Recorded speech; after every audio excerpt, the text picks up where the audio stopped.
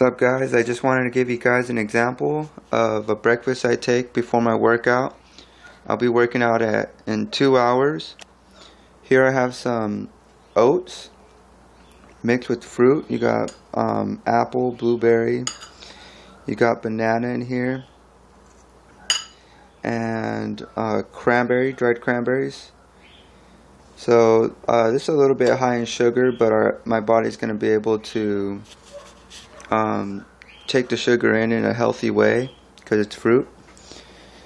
And uh, you'll be able to break it down. Here we got some fish oils. This is really good. Also we got some vitamin D D3 5000 IU this kills cancers by 60% and we need vitamin D from the sun. Um, without vitamin D we get skin cancer. So it's good to have a lot of vitamin D I take um, one every single morning and I try and stay in the sun as much as possible. I don't use any sunscreen.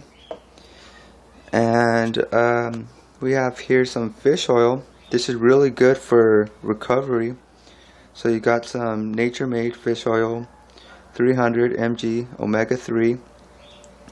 So usually I'll wake up in the morning, have a small breakfast. Then I'll take um, fish oil here then uh, vitamin D. Get I got the fruit all mixed in, a little bit of oats, um, some ground cinnamon inside. I got some boiling water. I'll just put that in.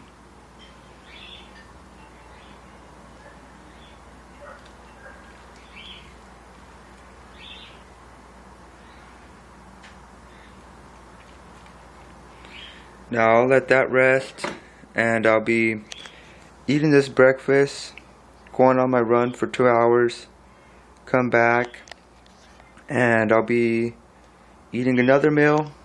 In the meantime, I'll be studying, and you guys have a good day.